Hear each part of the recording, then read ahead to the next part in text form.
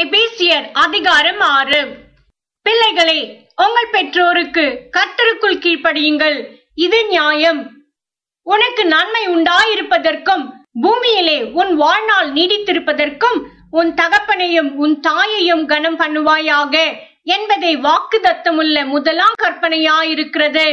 பிதாக்களே நீங்களும் உங்கள் பிள்ளைகளை கோபப்படுத்தாமல் கர்த்தருக்கேற்ற சிச்சையிலும் போதனையிலும் அவர்களை வளர்ப்பீர்களாக.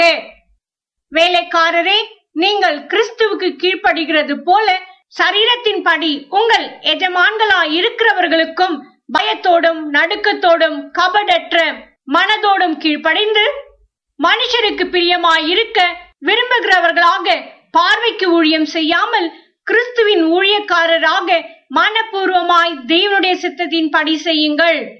அடிமையானவன் ஆனாலும் சுயாதீனம் உள்ளவன் ஆனாலும் அவனவன் செய்கிற நன்மையின் படியே கர்த்தரிடத்தில் பலனை அடைவான் என்று அறிந்து மனுஷருக்கென்று ஊழியம் செய்யாமல் கர்த்தருக்கென்றே நல் மனதோடே ஊழியம் செய்யுங்கள். எஜமான்களே அப்படியே நீங்களும் வேலைக்காரருக்கு செய்ய வேண்டியவைகளை செய்து அவர்களுக்கும் உங்களுக்கும் எஜமானானவர் பரலோகத்தில் இருக்கிறார் என்றும் அவரிடத்தில் பட்சபாதம் இல்லை என்றும் அறிந்து கடும் சொல்லை விட்டு விடுங்கள். கடைசியாக என் சகோதரரே கர்த்தரிலும் அவருடைய சத்துவத்தின் வல்லமையிலும் பலப்படுங்கள். நீங்கள் பிசாசின் தந்திரங்களோடு எதிர்த்து நிற்க திராணியுள்ளவர்கள் ஆகும்படி தீவனுடைய சர்வாயுத வர்க்கத்தையும் தரித்துக் கொள்ளுங்கள்.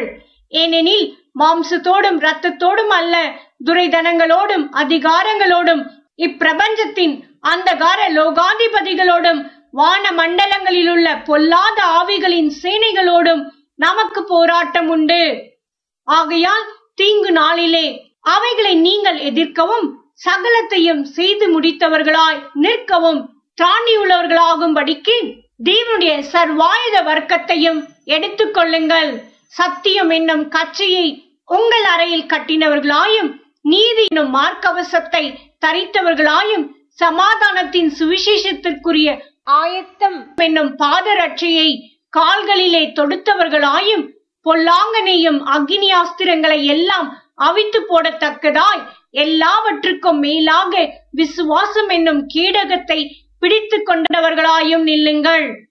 ரட்சண்யம் என்னும் தலை சிராவையும் தீவ வசனமாகிய ஆவியின் பட்டயத்தையும் எடுத்துக்கொள்ளுங்கள் எந்த சமயத்திலும் சகல விதமான வேண்டுதலோடும் விண்ணப்பத்தோடும் ஆவியினாலே ஜெபம் பண்ணி அதன் பொருட்டு மிகுந்த மன உறுதியோடும் சகல பரிசுத்தவான்களுக்காகவும் பண்ணும் வேண்டுதலோடும் விழித்துக் கொண்டிருங்கள்.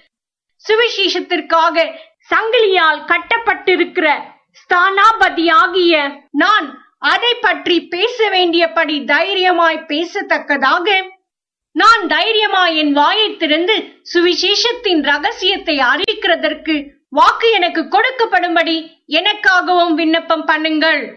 அன்றியும் எனக்கடுத்த காரியங்களும் என் சுகச்செய்திகளும் உங்களுக்கு தெரிய வரும்படிக்கு அவைகளை எல்லாம் நமக்கு பிரியமான சகோதரனும் கர்த்தருக்குள் உண்மையுள்ள ஊழியக்காரனுமாய் இருக்கிற தீகுக்கு உங்களுக்கு அறிவிப்பான்.